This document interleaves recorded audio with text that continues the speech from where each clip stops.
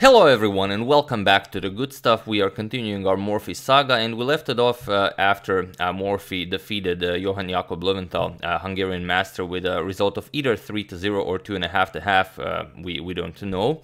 Uh, but uh, here uh, is a game from 1854. Now, from 1850 to 1854, Morphy did not play a single chess game. Well, not a single game that was recorded, as he he was going to school and he didn't really he didn't really want to play chess. He didn't. Um, uh, study it. He didn't uh, try to become better at chess or, or, anything like that.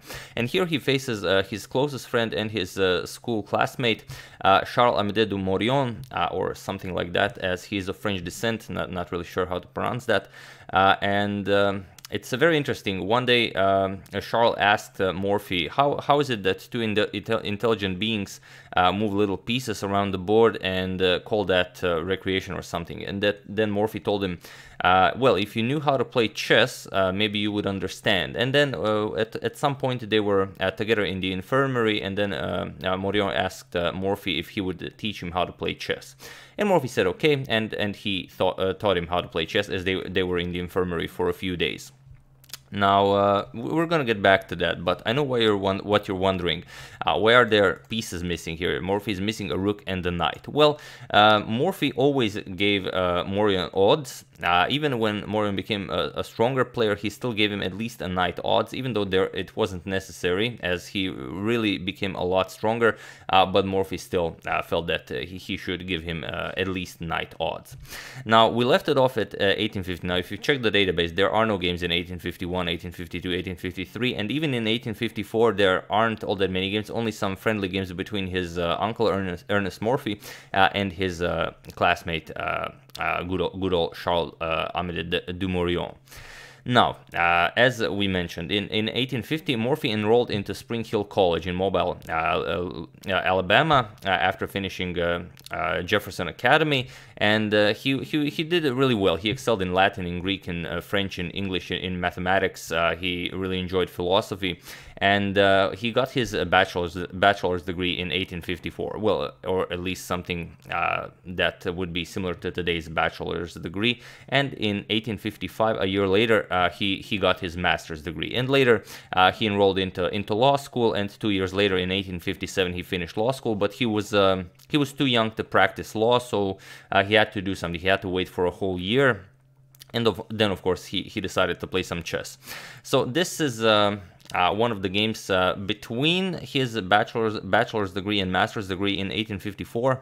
Uh, played against his um, uh, well uh, schoolmate and. Uh, here he, he's just giving him two pieces odds, but it's quite quite an exciting game, even though the, the, these are quite the odds. So without further ado, let's let's check it out. So Morphy opens with e4, and we have e6. We're not gonna call it the French defense since he's missing um, uh, well, some pieces. Uh, we have f4 and now d5. Uh, Maurian goes for the center right away, as he should. We have e5 by Morphy. Uh, as Morphy is already down material, he should really avoid trading anything. He just needs to make the position as complicated as possible. So, knight to e7, uh, and uh, now comes knight to f3. Uh, we have knight e to c6 and now g4 by Morphy. Uh, we have bishop to e7 and now d4. So quite quite a nice expansion here. We have castles and now c3, just strengthening the center.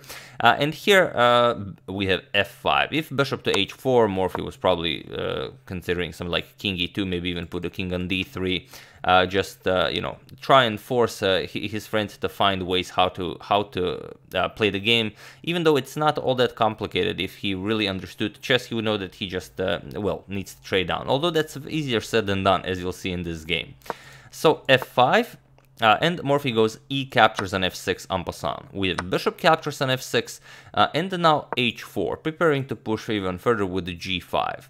And now knight to a5, uh, freeing the, the c6 square for, uh, for this knight. So as you can see, black is having some problems developing his pieces. Uh, we have g5 uh, attacking the bishop, bishop to e7, and now even h5. Morphy wants to push h6 and open up the position.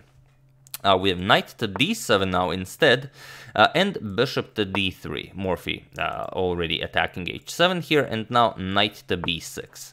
So not the greatest way to develop your pieces when all the action is on the king side, but uh, you know, you, you live, you learn.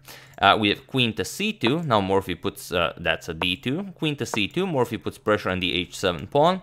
Uh, and now you could pretty much do anything here. You're still up material, so uh, ideas like bishop to d6 are, are good, just going after the f4 pawn. Uh, also, you might consider rook to f5. You could give up some material. You don't really care. You're, you're up uh, a rook and a knight. but here, Maurian goes for h6. And the Morphy just says, okay, thank you, G captures on H6, we have G captures, and now uh, this position just shows uh, how uh, how careless Morphy played this game, and he didn't really uh, think too much of, his uh, good friend Maurian, uh, because here queen to H2, queen to G2 check is winning on the spot pretty much, because if king F7, it's mate, and after after this queen to G2 check, if you move the king, king H8, now queen G6, you threaten mate, rook to uh, rook has to block, now rook to f5, the only way to prevent this, but now queen captures on h6 with check. King g8 and now rook to g1 with check. King f7, now queen g6 check, and after this you're just getting mated. So uh, this game just, uh, well, shows that Morphy was... Um, probably even just uh, teaching uh, teaching Charles uh, or, or Charles, uh, I don't know if his name is still pronounced French or maybe it's just Charles Maurian, uh, who knows. Uh, but yeah, Morphy didn't want to end it right away, so he played rook to g1 with king to h8 or and now rook to g6, just going for that h6 pawn. and here rook to f6, Maurian defends properly. We have queen to g2, uh, and now comes queen to f8. Here you have to be careful. Here Morphy is threatening uh, rook g7 followed by rook to h7 mate. The bishop still covers the h7 square. So queen to f8, not allowing rook to come to g7, and now knight h4. If the rook is ever captured, you can always recapture with the knight, uh, win, win the queen, could be, could be nice. So queen to f7, getting the queen away from such a a nasty square, and now Morphy just continues marching forward, f5. And here he really puts a, a nice task in front of Maurian. Uh, will you will you calculate this properly or not? So here's what happens if you if you really go into this. Uh, e captures on f5. Now comes, for example, bishop captures on f5. There are so many lines because black is still up material. You can pretty much do anything. But let's say bishop captures, knight captures, and rook captures. Uh, now uh, this this wouldn't be okay because of, for example, rook captures on h6. And here you have to part with the queen. Uh, queen h7 captures, captures, and now queen g6 check even wins the rook. Uh, so here it would be white who's better. Uh, so uh, uh, Charles decides not to capture the pawn as a lot of things can go wrong, uh, as you've just seen, so he continues developing. He wants to bring this rook into the game. And okay, still still winning for black, not a problem. Uh, we have bishop captures on h6 by Morphy, and now rook to g8, not allowing bishop g7 or rook to g7. Uh, and here bishop to g5 again. So what do you play here? Uh, there are, again, a lot of things you could play. For example, rook g captures on g6 can be played, but then you get f captures on g6, and this is now actually winning for white.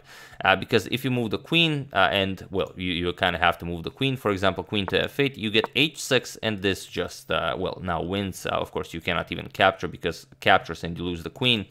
So not, not gonna happen. Uh, on the other hand, you could try rook g7, uh, which which is possible, but then you, get bishop captures on f6, uh, and if queen captures, then you get rook captures on g7. Uh, queen captures on g7 and knight g6 check, again with a very complicated play. Uh, for example, king h7, now f captures on e6, opening up a discovery from this bishop. Well, not a discovery, but a, but a preparation for a discovery. And after bishop captures on e6, now you cannot capture uh, the bishop here with the discovered check because after king h6, you don't really have a good way of continuing the attack. So after queen d2 check, uh, black can always block queen to g5. So that's not really a problem. So after this uh, uh, bishop captures on e6, you cannot capture, you'd have to go for something like knight to f4 check, uh, but then at least after the, the king moves, you will get something like captures, captures, and you will grab this with check. King h6, now we're going to capture here, and after captures, uh, you're down a piece, but you're up two pawn, you're up a pawn, but for example, check, uh, bishop f3, you can pick up this pawn, uh, so it will be two pawns for a piece, Black is of course still better, uh, but uh, Maurian is nowhere nowhere near near as skillful to, to uh, you know tackle Morphy, even if he reached this end, game. So instead, we have rook f captures on g6 by Charles, and now comes knight captures on g6 with check. So what do you do here? We have rook captures on g6, but uh, uh, ignoring this isn't better. For example, if king h7, then f6 just wins. You open up this uh, diagonal, and now pretty much everything wins. There are ideas like 95 win, wins the queen. Uh, and if you try king g7, it's still the same thing. f6 now comes with check, and after after some trades here, bishop captures. Now h6 is deadly. So Morphy has everything under control here. If king h7, now you have 95 check. Now uh, the queen is under attack.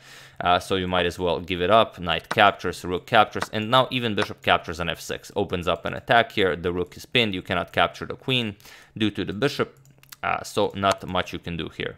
So instead, Maurian played rook captures on g6, but now h captures on g6. We have queen to g7, and here queen to h1 by Morphy.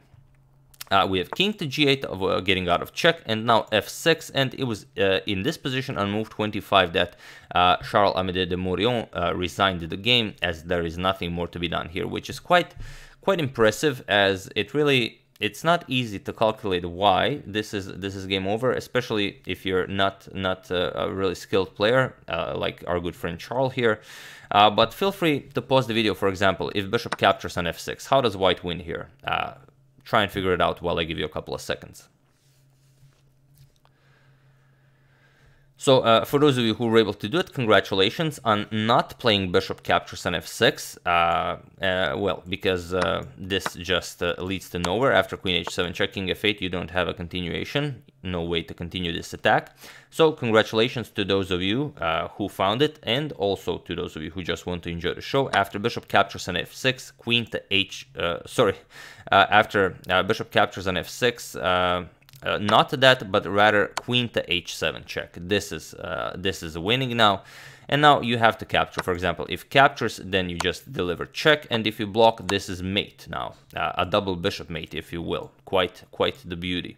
Uh, also, after queen to h7 check, uh, you could capture uh, and then after captures go somewhere else but it still doesn't matter. Bishop captures with check. The pawn is guarded. You have to either move the king or capture the bishop. Then you get a queen and again it's game over. So uh, lastly uh, but not leastly, you could move the queen, uh, move the king, let's say king f8, but this also doesn't help you because of bishop h6, just winning the queen. And whatever you play, uh, white even has queen h8 check. Now the the queen is pinned, you cannot uh, capture anything due to the bishop, so you have to move, and then you give up uh, even more material. Captures, captures, captures with check, king d6, and now well check, and now you get another queen. Of course, uh, game over. So really, a game against all odds where Morphy definitely had a lot of fun and uh, he, he could have finished uh, much sooner, but he, he was just creating and creating and creating. And in the end, uh, you know, uh, basically we even forgot that Morphy started this game without a rook and a knight. So that's uh, that's how uh, good Morphy was, and uh, well, he just wanted to, to teach good old Charles some some uh, some chess. And it's uh, interesting to point out this game was played in 1854, but already in 1858 uh, Maurian won the uh, New Orleans uh, Chess Club Championship. Morphy did not play, of course, but still, qu quite an achievement. Uh, so yeah, uh, that's the game, and uh, it's uh, well, like I said, uh, very interesting to point out that Morphy finished law school in 1857. He uh, he still had to wait a whole year before he starts practicing law, and even prior to that, in 1856, his uncle Ernest Morphy he started sending challenges to all the strongest players in in in America if they wanted to, to play against Morphy, as he was sort of Morphy's biggest fan, but no one ever accepted the challenge challenge. He even said that uh, there will be $300 to the winner. Uh, if, if you beat Morphy, you know, you get $300, which in those days was not a bad deal. And if Morphy beats you, you still get $100 out of those 300 for, you know, just for, for showing up. So it really wasn't a bad deal, but still no one accepted the challenge because I guess people heard about uh, Morphy crushing uh, Loewenthal and they didn't want to lose to lose to a little kid. Well, okay, he wasn't a little kid here. He was already in 1854. At this time, he was about 17. So, uh, but still, you know, people people didn't want to play. And so uh, his uh, his uncle and some very uh, you know uh, prosperous people uh, started talking about uh, this congress. Maybe they should organize some sort of a chess event, maybe a, a chess congress, or, or or maybe the first American chess congress, if you will. but we're gonna get back to that in the next video, and we're gonna talk about how how Morphy visited, how Morphy almost didn't go, and why he went, and so on.